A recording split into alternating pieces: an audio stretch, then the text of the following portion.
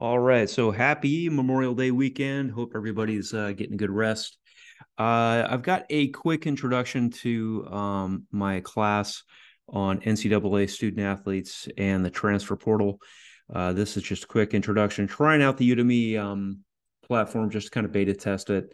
Uh, it's about a two hour course, 20 bucks, uh, just kind of covers the rules and regs, uh, what you can do, what you can't do, who, who you can talk to, who you can't talk to, coaches, boosters, agents, all that kind of fun stuff. And it, the reason I've, I've done uh, this course, you know, focused only on the transfer portal is that it seems over on the name, image, likeness side, uh, it's pretty well buttoned up for today. That that might change. It always does.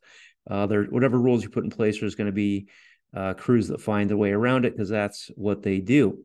But with NIL, if you're going through a third party service like Opendorse, uh, and there's no downside for the athlete. Uh, they don't pay a trans transaction fee, and the compliance is built in for the NIL. Uh, the transaction fee goes to the company that's hiring the athlete. So that's pretty well locked in for today.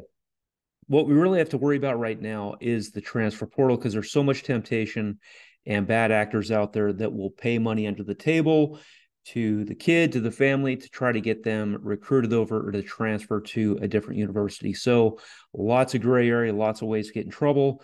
And the reason that's so important is that, you know, eventually that kid is going to retire from college sports and they're going to be out there looking for a job. So, what is going to show up on page one of the Google search when the kid is sending out resumes?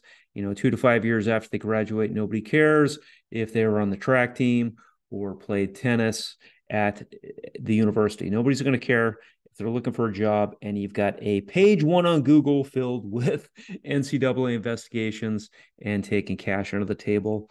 That's going to be a problem. So we want to get these, you know, kind of the standard set before the 17, 18 year old heads off to college and they're getting money thrown at them left and right to make a transfer. So got to set those ethical standards and decision making ahead of time before they go to school at college.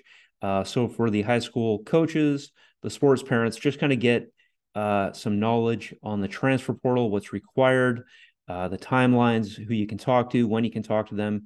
Get that dialed in. Uh, and this is going to be, again, it's about a two hour course. You can get all this information for free at the ncaa.org website but I've tried to consolidate uh, the key points so you don't have to poke around over the NCAA's website.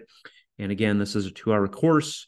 And this uh, video that I've attached here is about a four minute introduction to the course. Uh, so feel free to sign up. Full refund if you don't like it, but I think it's helpful to kind of dial, dial in on what's required on the transfer portal. That's really going to be the issue for the foreseeable future. All right, take care.